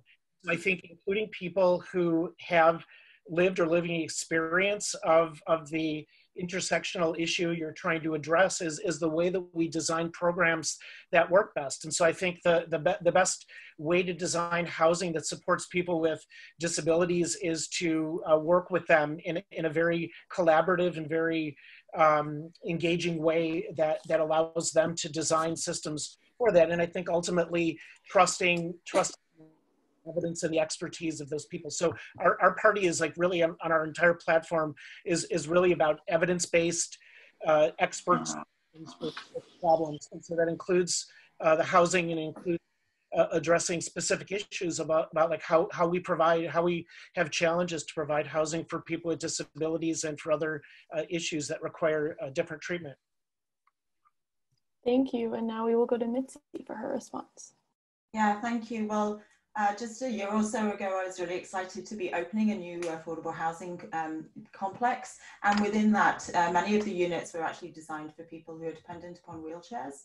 And of course, the physical space has to be designed for that reason. And, and the mum and a daughter were there um, going and having a look around and they were shouting at each other from the different bathrooms and, and just being so excited about being able to move in and have it immediately so functional and, it, and really so dignified for them as well. So I'm really proud of our housing, uh, our housing plan that we're rolling out over 10 years to make sure that we tackle the terrible housing crisis that accumulated over 16 years under the previous government.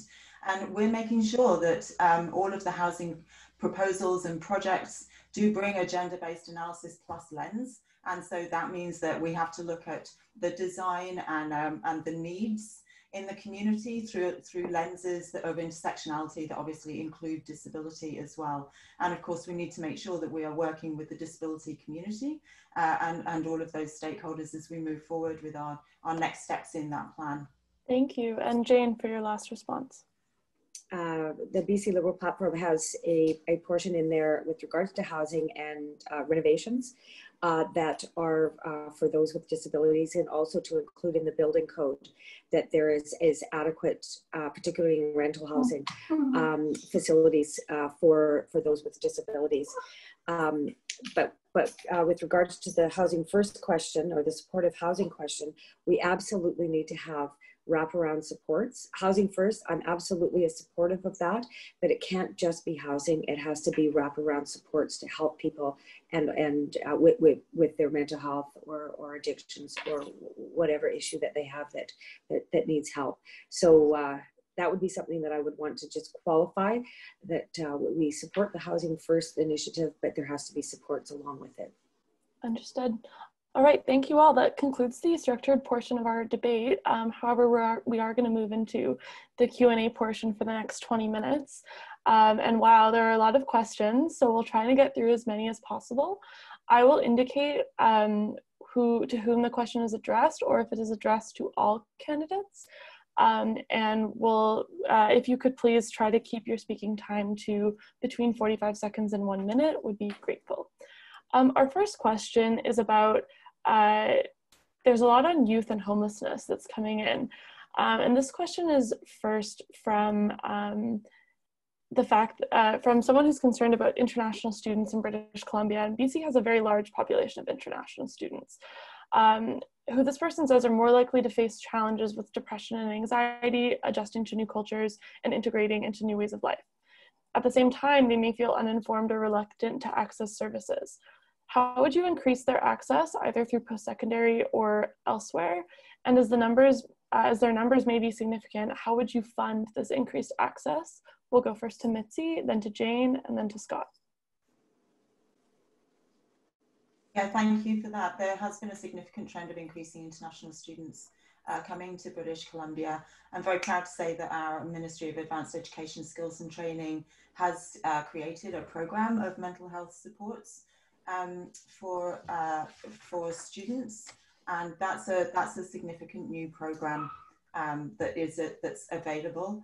Um, we've also invested in making sure that many of our grants for community ser service counselling are available in different languages as well, and uh, made sure that they're delivered by agencies that work within immigrant and uh, refugee communities as well. So hopefully um, there would be an ability to access some services there um, and uh, you know understand that it's a it's a challenging time for an international student. We need to make sure that we get all of that information available to them through all of the systems that we can so that they can access those services and preserve their health and make the best of being in our beautiful province.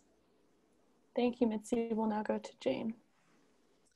This is a very timely topic. Um, I was uh, part of a group called the Good Pitch, that um, gets together uh, people, ex experts in certain levels of fields.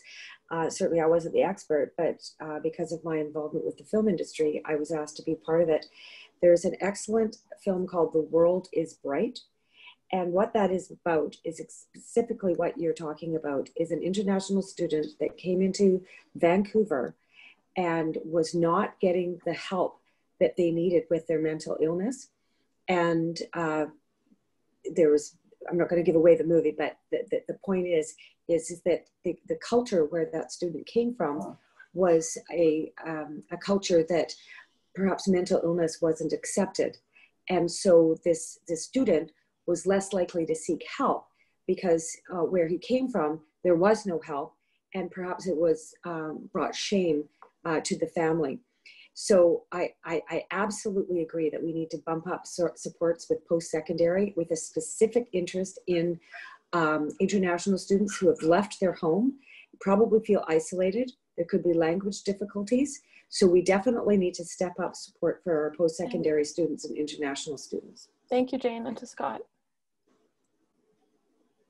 I, I, myself was an international student when I came to UBC in 2006. Uh, I didn't have language barriers. I had some cultural and isolation barriers too. And I can imagine uh, for many others, though, it's it's quite uh, quite more significant. And so we're we're committed to uh, with with our funding of mental health access through the MSP, everyone would be available or, or, would have um, the ability to access mental health care. And I think, and also with our uh, provincial-wide education program, we, we, we, could develop specific programs targeted at post-secondary students, uh, all with a cultural lens. And so I think having, having students themselves uh, design programs and messaging uh, in, in coordination with the government about how, how to reach out to people and their, their peers is, um, uh, is is one way that we can ensure that that we we address some of those issues that like Jane was referring to, like the stigma uh, that's a cultural stigma of of uh, reaching out and asking for help. Like I think I think a lot of times approaching people who are in the community to ask for their help and how do we how do we reach young people in your community uh, could, could be a helpful way to design a program for that. Thank you. Our next question is about uh, supports for parents who may have access, whose children and, and youth in their care may have um, uh, been committed to, may have been um, involuntarily uh, detained for treatment, or um, or otherwise are feeling that they're out of um, options for how to help help their their child or their um, the person they have guardianship over. Um, how will your party support parents who are trying to help their children with mental health and substance use? Um, and how will you support caregivers after, um, during community-based or, or, outpatient care um, after these youth have been detained? We'll go first to Mitzi and then to Scott and then to Jane. Well, thank you. I think this is part of our continuum of care. I mean, you know, I've worked with so many families where this is the this is one of the core issues that the parents don't get any support, um, and yet they see their kids uh, are suffering and are you know harming themselves um, or um, unable to regain that mental well-being and, and that health for themselves, um, and it's painful for parents. And the model of work that I had always delivered was integrated and collaborative um, and working with the whole family holistically and making sure that everybody was clear about what their roles and responsibilities were. The models that our um, team and our programs are rolling out are, are based on good practice and evidence-based practice that creates the best results and the best outcomes for children and youth. And so that means engaging with the family and making sure that everybody's rights are respected and that people get the support that they need in a way that moves forward so that those young people get the best care at all different stages of the continuum of, of the care that they're, they're needing. Thank you. We'll go to Scott. I, I, think the answer uh, to this surrounds uh, our commitment to build strong uh, community supports uh, around mental health, and I think I think part part of uh, what we can do is develop programs uh, that that address from a local level rather than so, something that's that's done in a, a big top down fashion. And, and I think individuals. In, in, individual families, their needs will different, their situation will be different, but but re reaching out at an early stage uh, providing supports for families before uh, issues become too problematic. And then if they aren't situations where, where young people are, are confined or uh, having issues, we, we need to create a flexible and responsive system to, to offer them the, whatever supports they need, whether that's whether that's uh, counseling themselves, whether it's income support, whether it's um, uh, support within the workplace, those, those kinds of things to help the family uh, be resilient and strong and, um, and, and weather that. Thank you. And Jane? I think, I think um, this all comes down to mental health literacy as well. I, I remember um, talking with Dr. Stan Kutcher, who's now actually a senator, uh, with regards to educating kids early on in life, um, obviously in the school system, as well as the parents on mental health literacy to know that uh, when is the time that they should be seeking help how is how they're feeling affecting their relationships or their ability to to to finish assignments etc um, there's there, there's ways to, um, to to to teach children that now is the time for them to seek help and that the stigma is that uh, it's okay to seek help because uh, um, everybody's doing it, sort of, so to speak. That it's it's it's it's normalized that you would seek help with a mental health specialist, like just like you would with your doctor if you had a sore stomach or something like that. So these are the types of things that kids need to know right away um, as they're growing up so that they know when to seek help. And parents need to be part of that as well. And they also need to be educated as to where the help is. Because I think this is where some, some things fall apart is, is that the parents have realized that, oh, there's something wrong with my child and I need that, that child to get some help and they don't know where to access that help. Thank you. So we, that's time, Jane. Thank you. Uh, our next question uh, moves a little bit into um, the pandemic side of things, which obviously overarches our uh, our debate here tonight. Um, in the, but in the context of an economic recession like the one we're in, working age adults have a very high and elevated risk of uh, dying by suicide. And research shows that supportive government economic policy can directly reduce the risk of dying by suicide. Um, how will you incorporate mental health support into BC's economic recovery? And what economic supports do you propose specifically for working adults? Uh, we will go to Jane and then to Scott and then to Mitzi. Well, I, I really appreciated your uh, paper that you sent us. Focusing on economic recovery without prioritizing mental health could mean devastating, devastating long-term consequences. We know that this pandemic, and I think it was Jonny that mentioned it at, uh, at the opening remarks, has negatively influenced people's mental health. Um, people are, are afraid. Some of them are unemployed.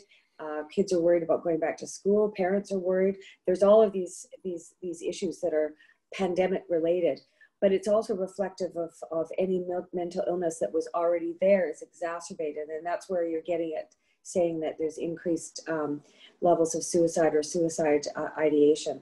Again, I think that um, we need to bump up these supports. I, I agree with your your, your recommendations as far as cross-sectoral provincial leadership. It's not just um, one size fits all. It's not just one ministry. We've got ministers of health, MCFD, education, and community workers, uh, including the Canadian Mental Health Association and all of the services that they provide. We need to have a, a complete system of care that, that goes to all of these um, experts that, that are out there in, in the community that are helping people, but it can't just be from one top. Thank Sorry. you. Scott, thank you.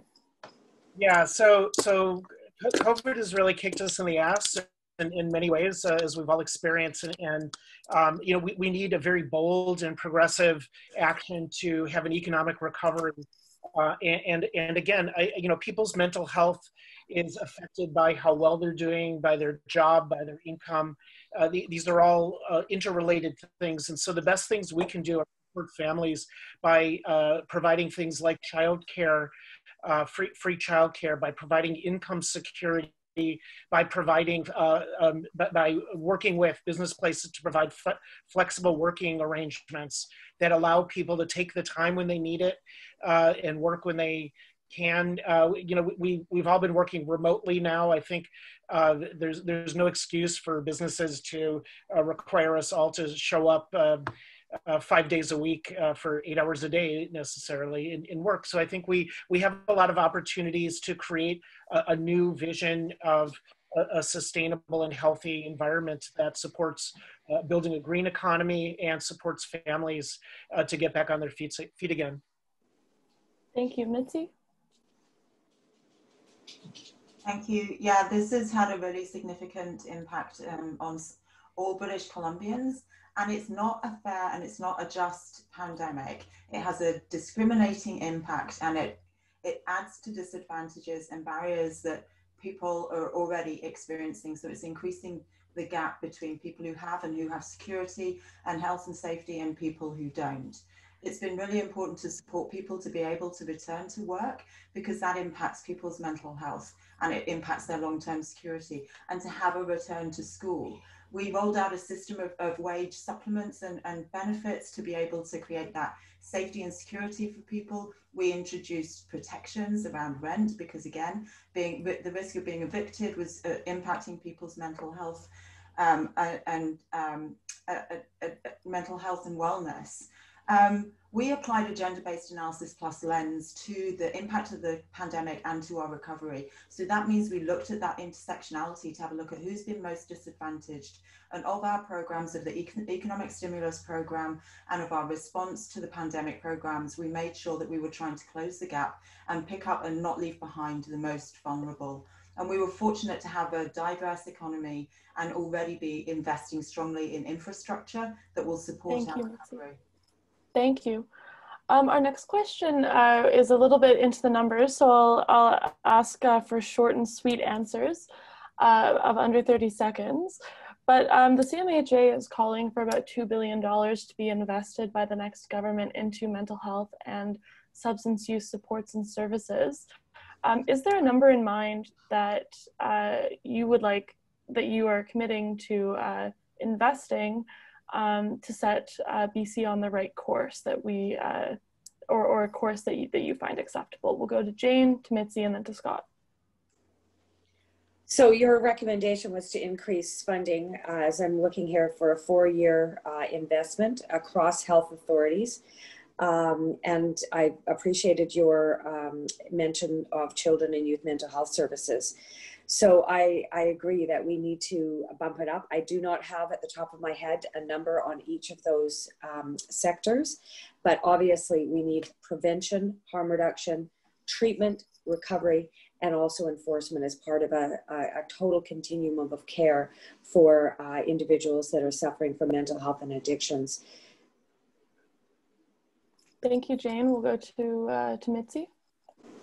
Thank you. Well, we already invest $2.5 billion a year into mental health and substance use services and programs. Uh, we had been increasing that year on year since we formed government in 2017.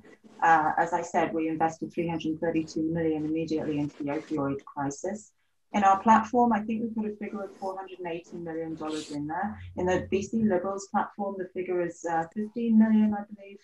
Um, and I do want to highlight that we're also investing in tackling the determinants of mental, mental health and substance use issues. So across ministries, investing in housing, investing in poverty reduction, investing in healthcare, investing in connectivity, making sure that we're giving prioritization within programming as well to pick up the most vulnerable people who have been, who are the most impacted as well. Thank you. Thank you. And to Scott? Yeah, we, we've committed to invest an additional $10 billion into uh, the COVID recovery and economic plan, which would include um, uh, an inclusive and green recovery from COVID. And so, uh, as I talked about previously, one billion of that specifically is, is going towards uh, additional mental health support. Um, I, I, don't have specific breakdown of number on on uh, uh, other issues uh, that that we're adding to, but it's largely uh, focusing on on things that are the social determinants of health, and so it's things uh, including housing, income, income security, food security, um, and, and, so that which which we've already talked about things being related to mental mental health as well. Thank you all. Uh, the next question uh, is also directed to everyone. Um, amid like the, the uh, there was a recent report from BC Office of the Human Rights Commissioner that recommended a legislative framework uh, with which the government could move ahead in collecting disaggregated um, race, gender, and, and otherwise disaggregated data um, on health on a number of government programs in BC in order to make policy more equitable and relevant to specific communities. Does your party support uh, this collection and would you support it expanding um, into uh, understanding better the way that the overdose crisis affects different communities? We will go to Scott and then to Mitzi and then to Jane.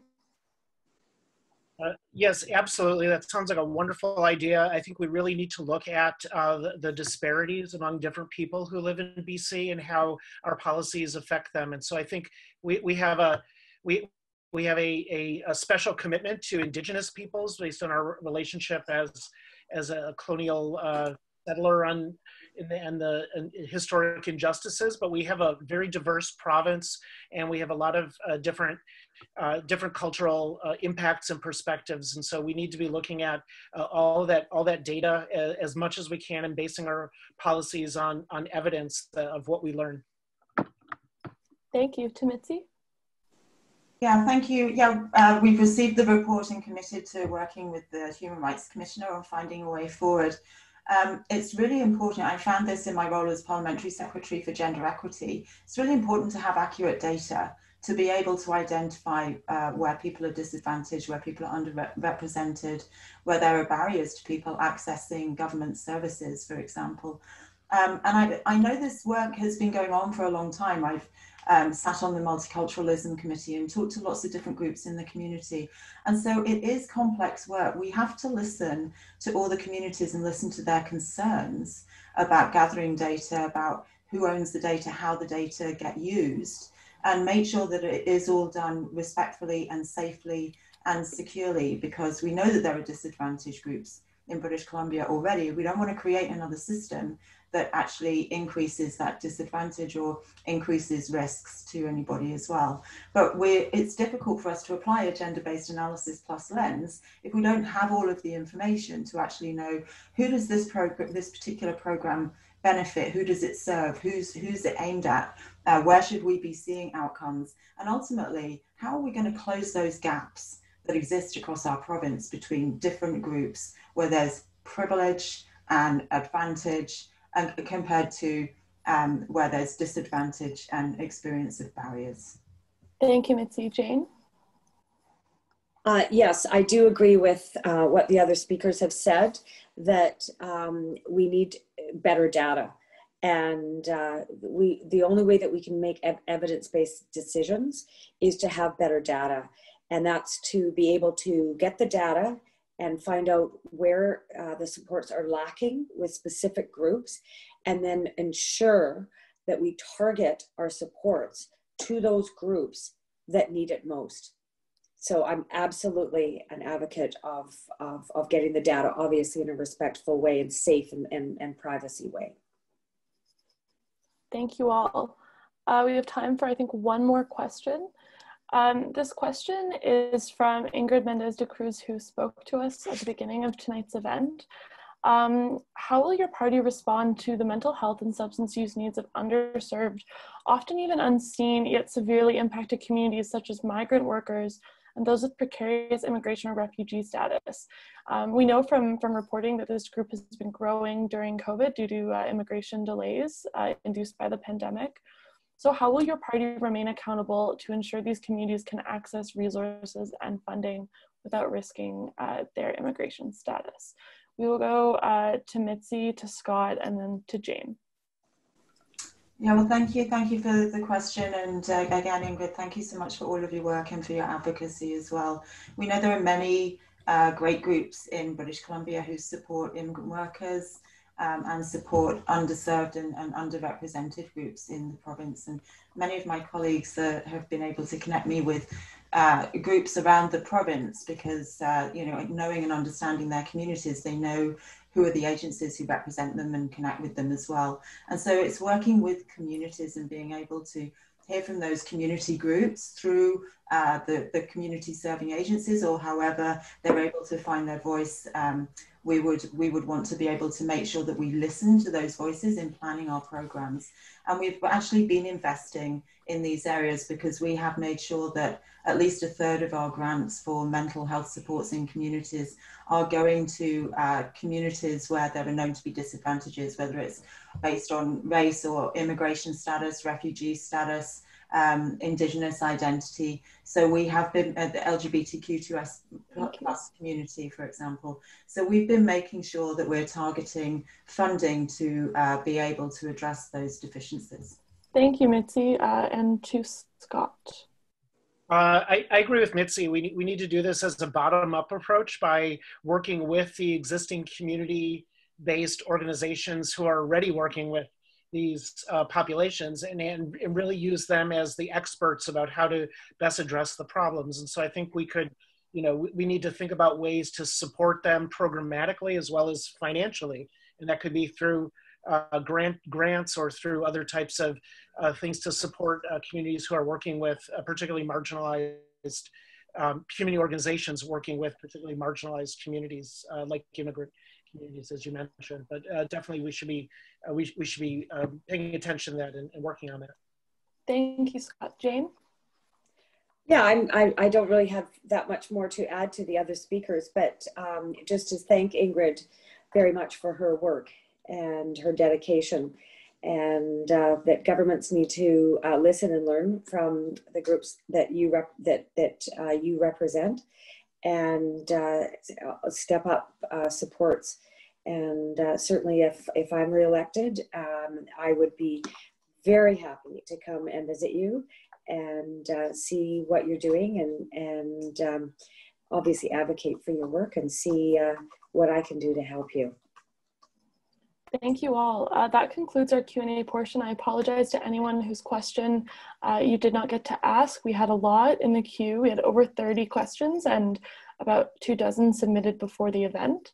Um, so with that in mind, please do contact your, your candidates or their, their parties if you have further questions. Um, we will now move into closing statements and the order will be in the reverse of the random order we drew for opening statements. So we'll start with Scott and then go to Jane and then finish with Mitzi. So Scott, you have two minutes starting now.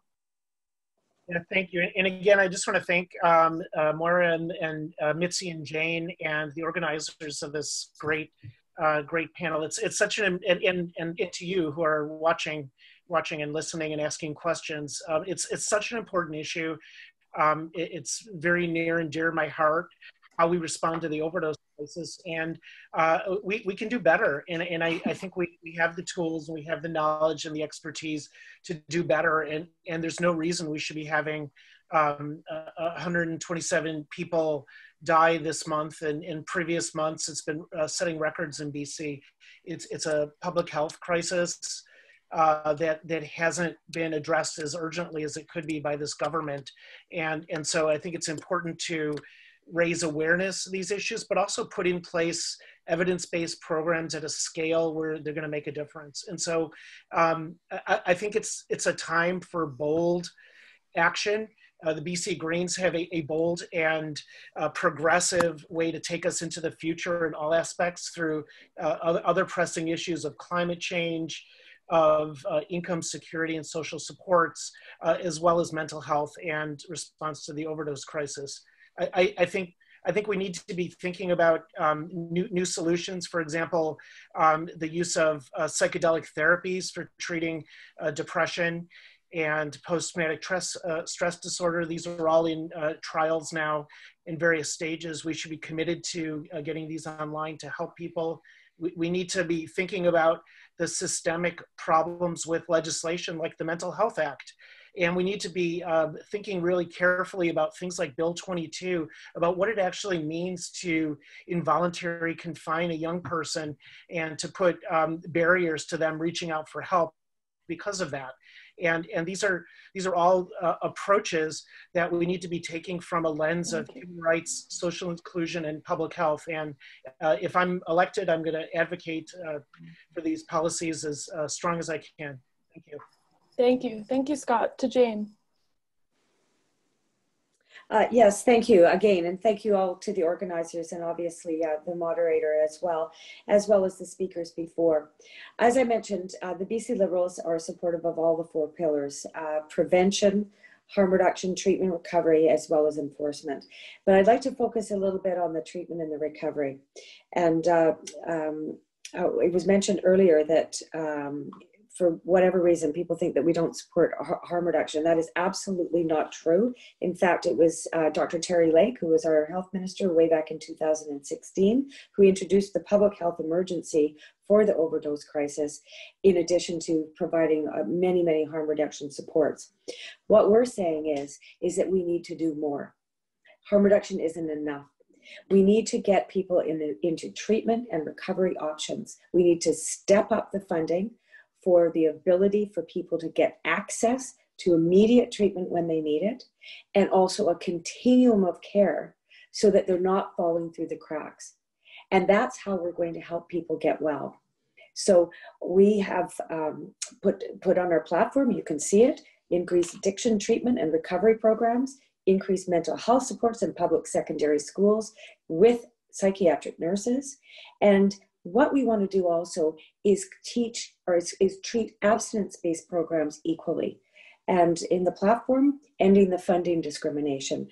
Uh, Brenda mentioned earlier that their their success rate is 90% success rate for three and a half years treat, of treatment through their their programs that's pretty amazing so we should be looking when we're talking about evidence we should be looking at the evidence that recovery actually does work there are many many people out there that are in recovery and living successful lives back with their families being contributing members to society we've got to give them um, credence in our society so that we recognize that recovery works and, and help them and help others uh, develop their own recovery regime and through a pathway to care so that they uh, can become well and, and um, be contributing members of society. Thank you, Jane. That's your time. Uh, Mitzi, we'll go to you for your last uh, two minutes. Well, thank you. Thank you to everyone involved in making this evening happen. Really appreciate it because every time we can have public discussion, we can work to reduce stigma. We still have a long way to go in order to build a system of care for mental health and addictions that gives people the support that they need and deserve. Thank you to everyone who is part of our mental health system. We will continue to work in partnership with you. For 16 years, the BC Liberals focused on working for those at the top. We experienced cuts and neglect to the mental health services that people needed and it meant cuts and neglects uh, like freezing income assistance rates for a decade that made life for already vulnerable people even more difficult. And all of this adds up to the problems that we're facing today. In just over three years, our government has made significant progress. But not only is there much more left to do, the COVID 19 pandemic has presented new challenges. John Horgan and the BC NDP are committed to putting people and their health first a BC NDP government will continue to build a whole system of care to address mental health and substance use issues. We will continue to demonstrate leadership, meet commitments and make investments, follow evidence-based models of practice and build equity into our pathway to hope. By voting for the BC NDP, we can build the mental health and addiction system of care that people need and deserve, as well as provide the services and supports to help keep people safe, healthy, and secure. Thank you. Thank you very much all. Um, I really appreciated this lively and, and informative debate tonight. Um, and I'm sure our audience did as well. I will now turn things over to uh, our CEO of the CMHA in BC, Jonny Morris, for closing comments. Well, thank you so much, Moira, and um, what a well moderated debate. Thank you very much indeed, Moira. Um, just in closing this evening, um, I want to thank each of the candidates, um, Mitzi, Scott, Jane, for um, stepping into such an important discourse and discussion this evening. Um, it takes courage to run for public office, and the mental health of those seeking office and those who are elected is, of course, of equal concern to us too at the CMHA. And so I just want to um, signal strong appreciation for the time it took to prepare for this evening um, and the ways in which you engage with each other and the questions posed. Um, thank you very much indeed for, for bringing forth um, such, um, such thoughtfulness with your answers. Thank you very, very much indeed. Um, I want to thank uh, Moira and the Tyee for all of the skill with which you held the space this evening.